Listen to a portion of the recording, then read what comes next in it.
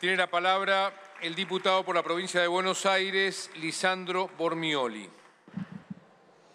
Gracias, señor presidente.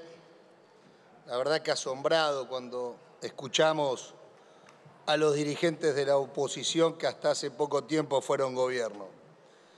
Mire, señor presidente, Cristina siempre dice que cuando asumió Néstor, el índice de pobreza superaba los votos que había sacado Néstor. Hay otros datos también que existían en esa época, señor presidente. Del universo de adultos mayores, solo el 68% estaba jubilado. Y la jubilación mínima era de 51 dólares, ya que hablaba la diputada anterior de que nosotros decimos de la inflación y 51 dólares, vamos a hablar en dólares, era la jubilación mínima. Ahí Néstor puso a reconstruir el país y entre esa reconstrucción estaba Sergio Massa en el ANSES hicieron la moratoria previsional, que hizo que se jubilaran más de 2.700.000 personas que no tenían posibilidad de acceder a una jubilación. Terminó el gobierno de Cristina con más del 90% del universo de adultos mayores jubilados.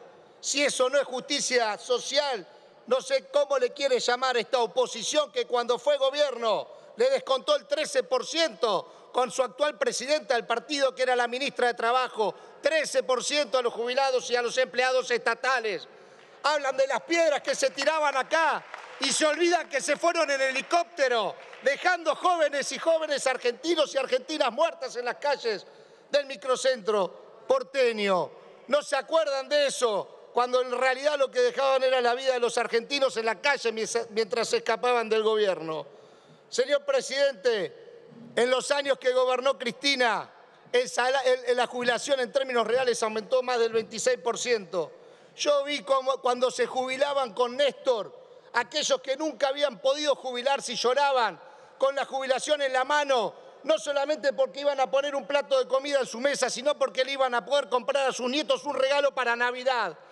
Vi cuando con Cristina se aumentó las jubilaciones en términos reales y nuestros adultos mayores no solamente podían comprar un regalo de Navidad a sus nietos, sino también se podían ir de vacaciones a disfrutar de la montaña o de la sierra o del mar.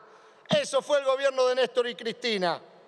Y nos vienen a hablar la oposición que cuando fue gobierno no solamente les redujo las jubilaciones en términos reales un 20% a nuestros jubilados y pensionados, sino que también les metió el tarifazo en el agua, en la luz y los endeudó con esos préstamos usurarios por eso, señor presidente, lo que vivimos en los últimos cuatro años con el gobierno de Mauricio Macri de ver cómo nuestros jubilados se acercaban a ver si podían sacar otro crédito para poder pagar la tarifa de luz o la boleta de gas. Mire qué diferencia, señor presidente.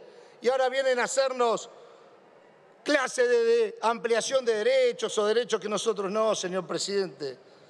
Nosotros somos el gobierno que nos tocó afrontar la herencia que nos dejaron más la pandemia. Y en ese marco, en menos de un año, ya estamos vacunando a nuestros adultos mayores para que próximamente puedan poder desenvolverse en la vida, próximamente puedan abrazar a sus, a sus hijos y a sus nietos. Es el gobierno que sostuvo la economía en estos últimos meses.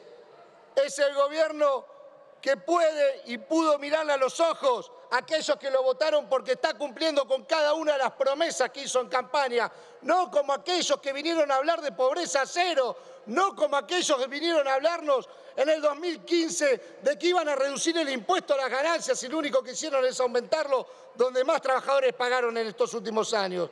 Por eso, señor presidente, venimos con alegría a votar esta ley. Venimos con la convicción que tenemos los peronistas porque siempre fue el peronismo y el kirchnerismo el que le dio los mejores años a nuestros niños y a nuestros viejos. Los años más felices fueron, son y serán peronistas y kirchneristas. Muchas gracias, diputado Bormioli.